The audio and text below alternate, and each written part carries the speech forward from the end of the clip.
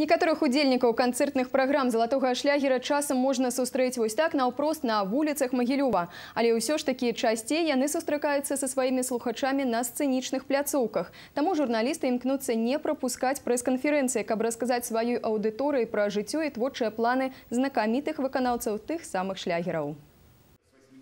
За больш як 30 год існавання аўстрыйскі гурт Джой перажыў і поспех і разлад. Апошнія 20 год яны зноў разам. І цяпер кажуць іх спрэчкі пра моду жанчын і палітыку. А вось пра сучасную музыку меркаванне аднолькавае.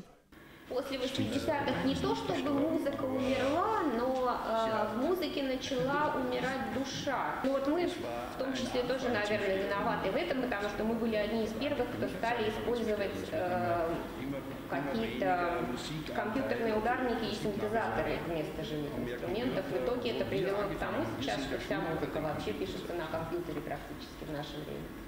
Латвійская эстрадная спявачка, выканаўца шматлікіх шлягераў савецкага перыяду Вольга Піракс таксама прызнаецца, што песні зараз іншыя. В основном это такой немножко м, танцевальный больше уклон для молодежи, такое очень, э, так сказать, навязчивые какие-то два-три слова, которые запоминаются и все. И, и, собственно говоря, ничего там особенного нет.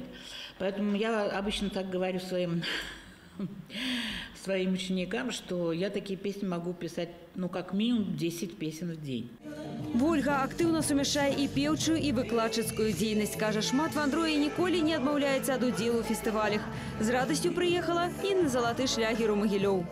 Я всегда понимала и ощущала, и, и думаю, что так и будет, э, то, что здесь очень э, теплая, хорошая публика, которая любит шлягер – Бас-гітара, барабаны, флейта, нямецкая, англійская, португальская, французская мовы. Як удалося даведацца падчас прэс-канферэнцыі, гэта далёка не ўсе таленты мультиинструменталиста Африка Симона. Африк любит готовить какие-то такие национальные блюда с э, рисом, перцем, паприкой, курочкой. Иногда он добавляет что-то мясное. Это его увлечение, он не воспринимает это как что-то такое трудное. А еще ему нравится убираться дома. Выканаўца аднаго з самых знакамітых шлягераў 80-х, які ўгадваюць па першых нотах, падзяліўся з корэспандэнтамі, што менавіта музыка прыдае яму маладосці і настрою.